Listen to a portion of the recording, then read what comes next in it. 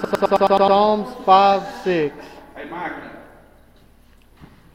You shall destroy those who speak lies. The Lord will abhor the bloody and deceitful man. the Lord will destroy all evil. It comes at the end of life. If we don't, but this life we got a chance to turn to Him through Christ.